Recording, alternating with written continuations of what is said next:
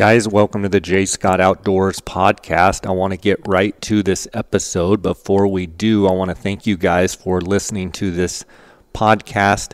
Want to let you know the best way to reach out to me is probably an email at jayscottoutdoors at gmail.com or through my Instagram account at jayscottoutdoors. Just send me a direct message. I want to thank GoHunt.com. They are the title sponsor and have been since the inception of my podcast in 2015.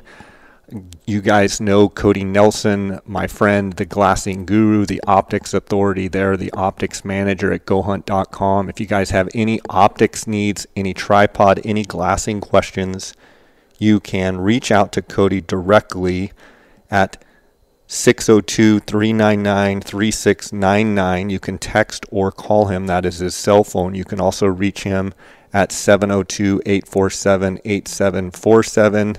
You can email optics at gohunt.com. Make sure to always use, whether ordering online or if you're calling and, and call Cody direct, use the JayScott promo code. You're going to get a 10% discount. Um, also, you get a 10% discount at the Go Hunt Insider, which has incredible um, mapping now with the Go Hunt maps. Um, it also has amazing draw odds and strategy articles, uh, which is super important this spring going into application season. Go check it out, um, gohunt.com uh, forward slash jayscott. Uh, and if you use the JayScott promo code, you're going to get a $50 Go Hunt gift uh, gear shop gift card um, when you sign up um, just by using the JayScott uh, promo code. I also want to thank KUIU Ultralight Hunting. I've been using um, KUIU gear since 2010 um, when the company started. They're based out of California. Um, my late friend Jason Hairston was the founder of that company and um, since Jason's passing, the company has just continued to push the bar of excellence and innovation. Uh, go to KUIU, that's K U I U dot com. Um, you can order, it's a direct to consumer website. Um, they also have uh, a retail store in Dallas, Texas, as well as the headquarters in Dixon, California. Go to KUIU, K-U-I-U dot com to order. Uh, I also want to thank Phoneskope.com. Uh, Cheston and his guys over there at Phonescope um, make the best digiscoping adapters for your binos or for your spotting scope. Use the JayScott24 promo code and get a 10% discount on all orders. Guys, let's get right to this episode. Again, I appreciate you tuning in um, and God bless. Guys, welcome to the Jay Scott Outdoors podcast. I've got my friend Kevin Call of High Point Outfitters on the line. Usually his sidekick, John Adams, is with him, but John can't make it today, so I still wanted to talk Arizona elk and antelope with Kevin. So, Kevin, how are you?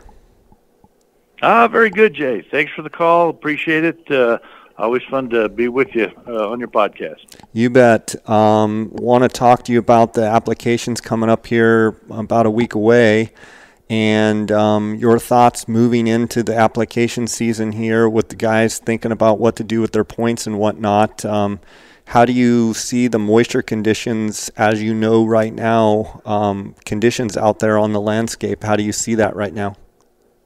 You know, I, Jay, I, I think we're in good shape. Uh, we were a little dry in December. Uh, we're here in Flagstaff, so uh, you know, and, and kind of uh, right in the middle of uh, most of the you know good elk units. So it's been a little dry, but January's been good. Uh, we've had good rain, snow finally came. Uh, uh, you know, we always love to, you know, get as much as we can uh, as early as we can. But hey, we'll take the late stuff too.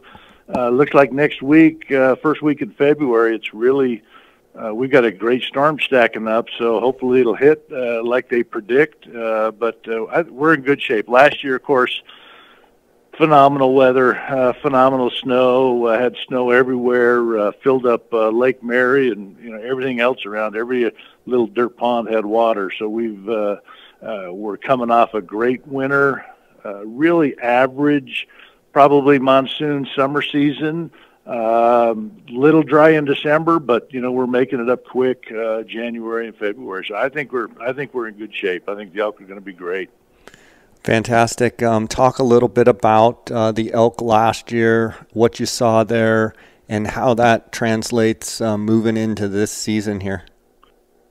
You know, we had we had good antler growth uh, last year. The uh, with our winter moisture and spring, I mean, man, the antler growth was uh, fantastic.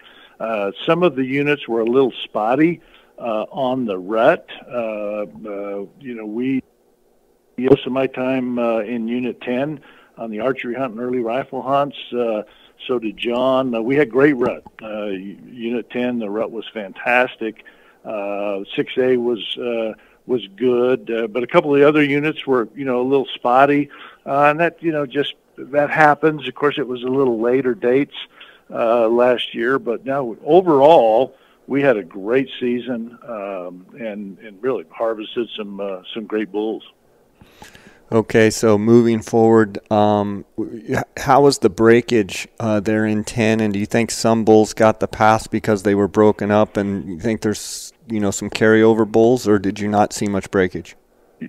You know, on the late hunt, uh, on the late hunt we did. So I, you know, I think they went in. Uh, they had, their horn density was so much better uh, than what we saw, you know, a few years ago when it was uh, the the drought was pretty rough uh, on them, but I think the horn density was fantastic. So we didn't see a lot of broken bulls. We started to see a little bit on that late muzzleloader and the late rifle hunt, uh, but nothing like we've seen, uh, you know, in the past. So. Uh, I, I don't suspect uh, a lot of bulls got passed over because of broken horns early, uh, but maybe on the later hunts, uh, you know, we uh, we had some of that. But uh, the the horn growth was was so good. The density was they were so heavy. You know, we just didn't see a lot of broken bulls. I say that I'm kind of thinking here. We we did kill a early rifle bull uh, last year in ten that was broke. Um, so there was a little bit, uh, but nothing like uh, you know like we've uh, seen the past you know five six years. Uh, especially three or four years ago, we we were really uh, struggling to find bulls weren't broke. Okay, um, you guys kind of hang your hat on Unit Ten up there. In your opinion, you know, is is Unit Ten trending sideways, up, down? Where do you see the age class? And you know, we kind of had a rough few years there. You know, maybe you know eight, nine, ten years ago, and and where do you see the trend now? Um, which direction is it going?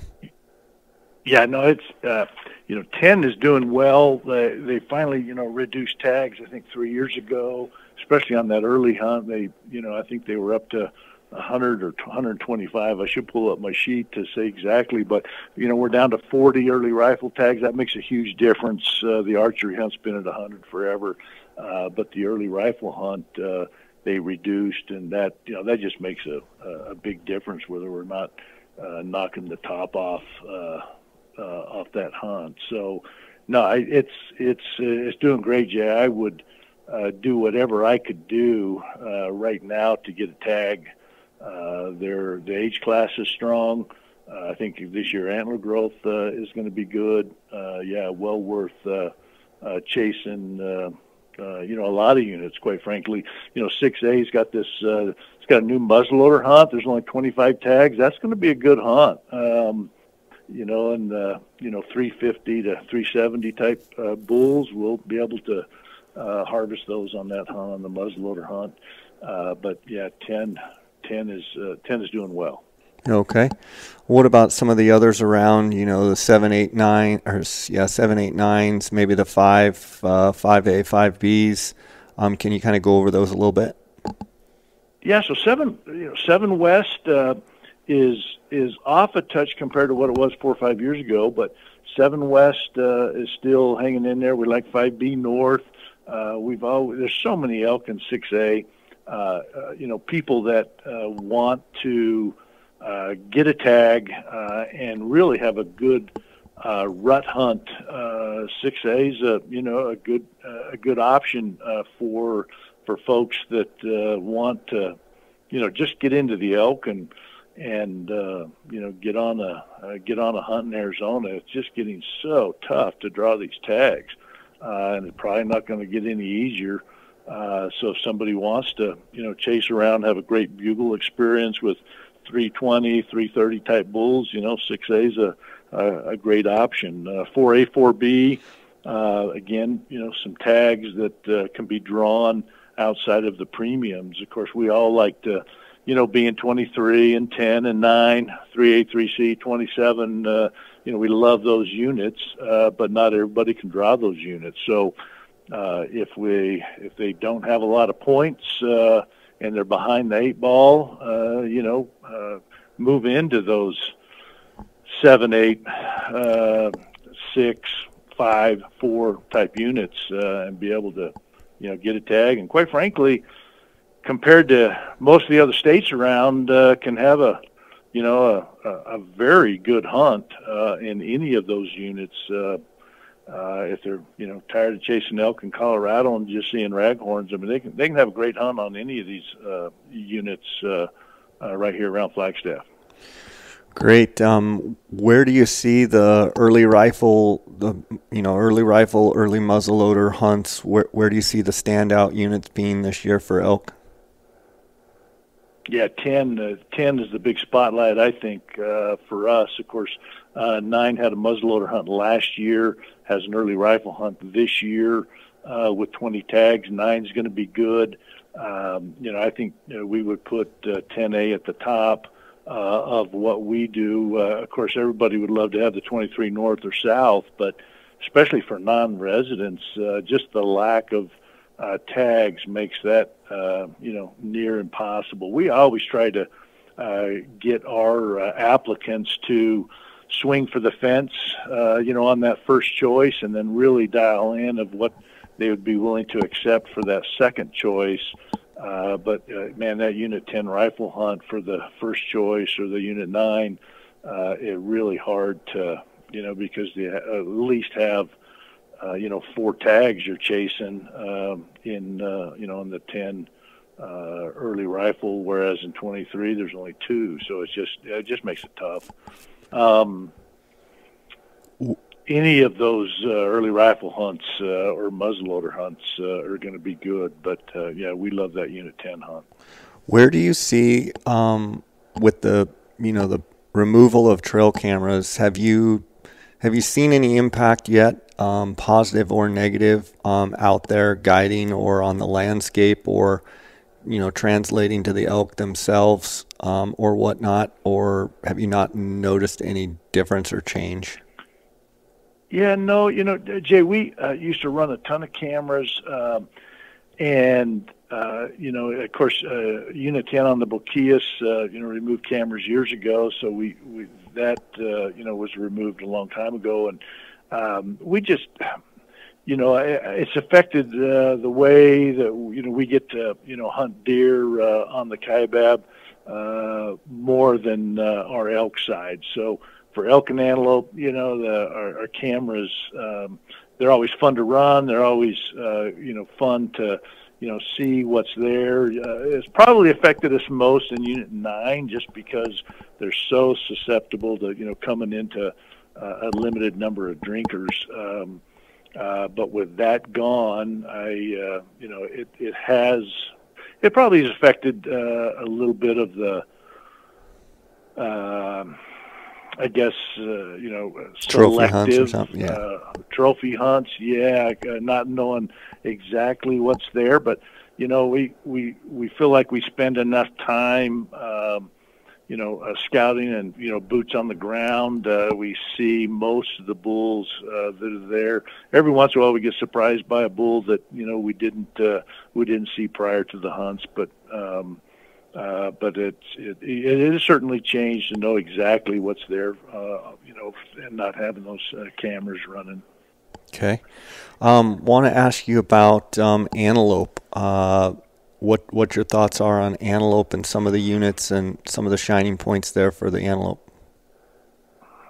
You know, man, we're we're continue to do well in uh, 5B. We love 5B. You know, 5A, 6A is really coming on.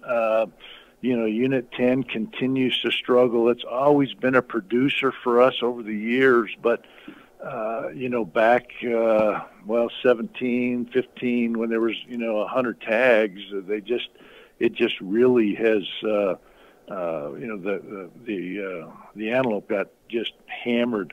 Uh, they were having a, uh, what, what helped, uh, Unit 10 is they were having, uh, you know, aerial, uh, coyote uh, gunning. predation hunts. Yeah. And yeah, and they they were able to you know keep that uh, predation down. Uh, but man, as soon as they came off it, it just seems like you know it took a couple of years. They just you know those coyotes just rebounded and just really pounded. Uh, uh, the antelope. So, you know, we're down to 60 tags from a high of 100. Uh, it's it's great that they've reduced the tags. They probably need to reduce again, but uh, 10 uh, of all the units, 10 has uh, you know, has has really, you know, been hurt. Uh, but yeah, 5B, 5A, 6A, uh, you know, we like 9, 7.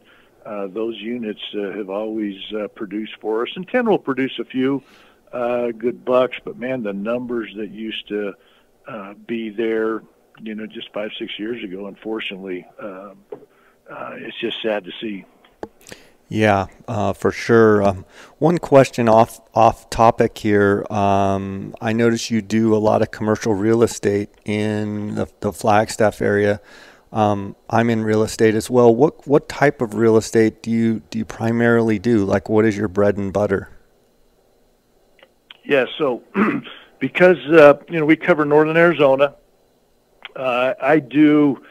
Uh, you know, you, you kind of have to be a jack of all trades. Uh, so we do uh, land, uh, you know, warehouse. Uh, we do leasing, buy, sell. I'm also a business broker. I've been a CPA for 35 years, so I help people buy and sell businesses. So I'm a business broker and commercial real estate. Uh, we've had a fantastic run the last three years. We had our best year ever last year. Uh, it it will, uh, you know, got our fingers crossed. You never know how it's going to, you know, keep uh, keep rolling. But uh, yeah, it's uh, I you know it's it's fun. I enjoy it, uh, and I'll continue to do it as uh, as long as it's fun. It's almost like uh, uh, guiding. Uh, as long as it's uh, fun, we'll continue to do it. Uh, but yeah, so it really uh, a variety of uh, investment properties. Uh, we do uh, some property management uh, for our. Uh, that uh, uh, need that service. Uh, but we, uh, so we do all all commercial real estate.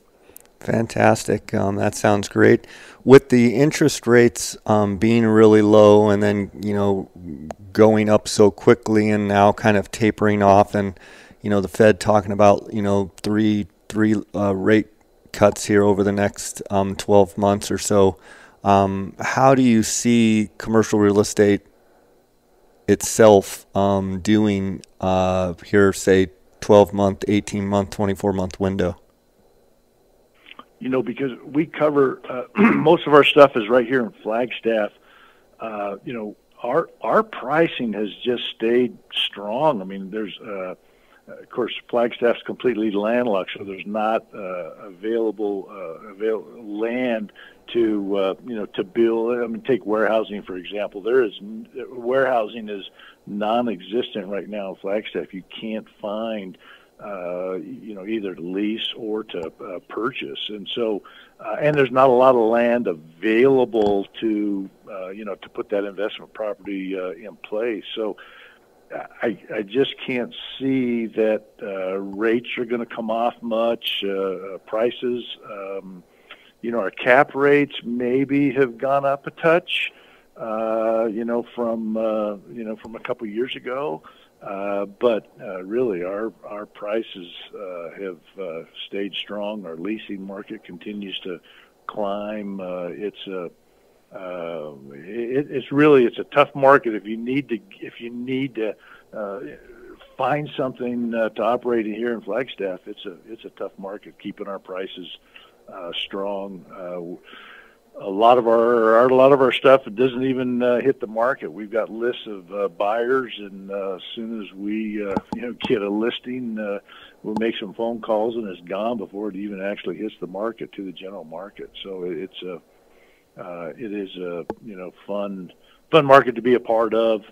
Um, you know, interest rates, of course, uh, when this starts to affect uh, investment properties, it it makes it uh, a little more challenging uh, for you know for for sellers and buyers. But we just I don't know. It just uh, you know maybe we'll see some, but it, Flagstaff has been so strong the last five six years. It just uh, it, doesn't seem to fluctuate much. Uh, in Phoenix, and I know uh, talking to the brokers there, it you know, it's jumping around a little bit, but we're not seeing that uh, here at Flagstaff. It's it's just staying strong and steady.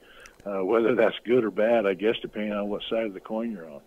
Yeah, I mean, you have those low inventory levels, and I think anytime you have that, um, it keeps your, you know, your demand is still strong and it keeps your prices up. Um, yep. Well, that's great to hear. I'm glad you're doing well with that. Um, okay, so you're pretty optimistic about uh, potential weather patterns and uh, for people that are applying for elk and antelope moving forward.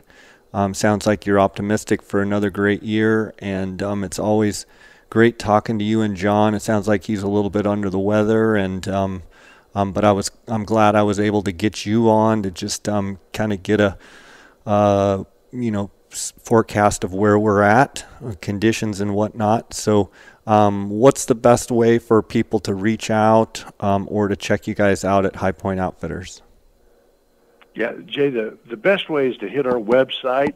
Uh, that's highpointoutfitters.net. Uh, you can uh, you know see our you know pictures and that kind of stuff. Uh, uh, John and my uh, telephone numbers and uh, emails and stuff are there. Uh, if uh, somebody uh, would like to get, uh, you know, draw strategy, shoot me an email, uh, and it's uh, shoot, so S-H-O-O-T, at highpointoutfitters.net, and uh, I can, uh, you know, help uh, those. I just, depending on the number of points you got, what type of hunt you're looking for, if you, you know, good with a late hunt, the late archery hunts, tough hunts, fairly easy to draw but a guy that uh, is proficient with some archery equipment can have some good hunts uh, in you know some of the best units in the state. Uh, so it just depends on what type of a hunt uh, you're looking for. We can uh, help those uh, you know with a draw strategy. But yeah, I I do think it's going to be a good year. Uh, last year we had a great year, and this year is going to be more of the same. Uh, we uh, you know the moisture just uh, starting to roll in good in February and uh, and January has been good. So I think it's going to be a, a good year. I think all hands on deck to get a tag. Uh, just yeah, don't miss the deadline February 6th. Make it happen and get a tag and give us a holler and come enjoy a hunt with us this year. That's what I'd say. Great, Kevin. Thanks for coming on. Thanks for sharing with us. God bless. I'll see you down the road, okay? Thanks, Jay. Appreciate uh, it. All right. Take care.